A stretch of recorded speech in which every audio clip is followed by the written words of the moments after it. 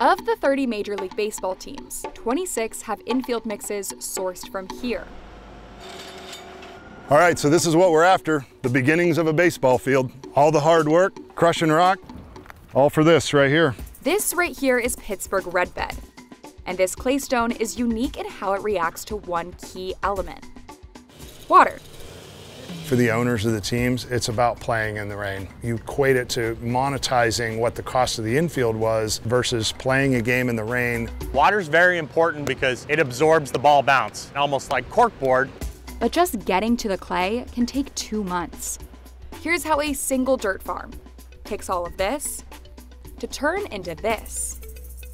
It all starts here. 300 million years ago, sediment from eroding mountains deposited this unique rock unit called the Glenshaw Formation. And the Pittsburgh Red Bed is hidden within it.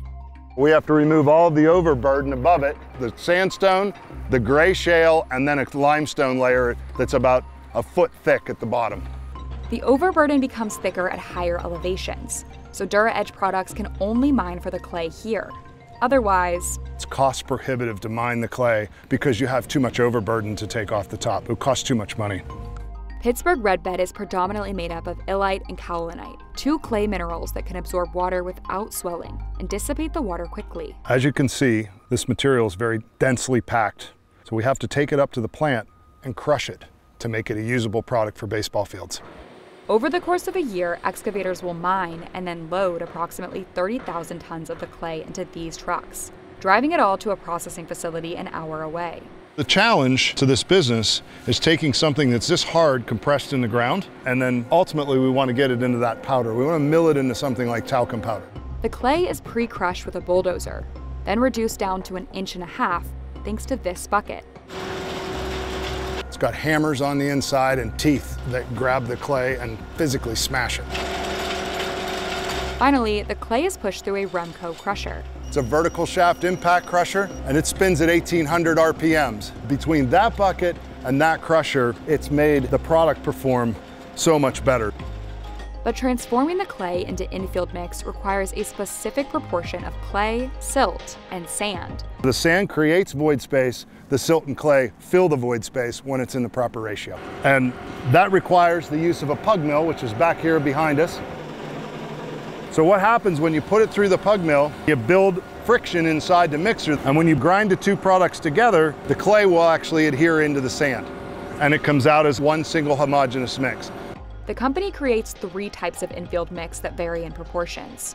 Professional grade infield mix has less sand and more clay content, which helps retain moisture better but also requires more maintenance. This is a finished product. Once you smooth it off, you can tell if there's anything in there. If the sand's too fine, I can tell it won't hold together quite as well. If the sand's too coarse, the coarse particles will stick out. When I'm testing my product and I've got the right moisture in it, I can go like this with my product. It'll stay together. You could almost juggle. I don't know how to juggle, but you could you could juggle these balls, right?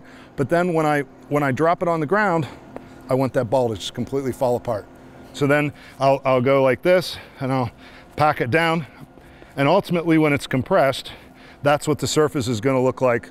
Stadiums nearby will have their infield mix delivered from the main processing facility. For stadiums farther away, only the clay is shipped, and the infield mix is made at one of DuraEdge's satellite locations, saving up to 70% in freight costs. It cuts down tremendously on logistics costs because if you were to make it all here and ship it to Salt Lake City, you would be shipping five more trucks and the cost of that would be too great. There are some groundskeepers that want things made slightly different, but by and large, we're producing the exact same product for every team. Like at Citi Field.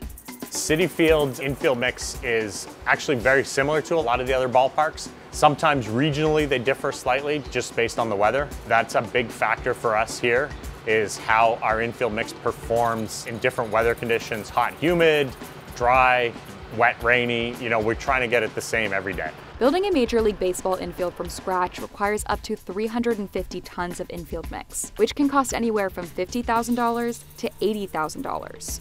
So many stadiums focus on maintenance, incorporating smaller deliveries into their existing infield as needed. What's gonna happen after he's done scarifying is we're gonna add a little bit of material and the laser grader is gonna push the material into all the little low spots and cut from the high spots so that everything's nice and level. He is actually finishing the grade of the infield to within about an eighth of an inch. Infields are required to be graded so that the baselines and the home plates are level.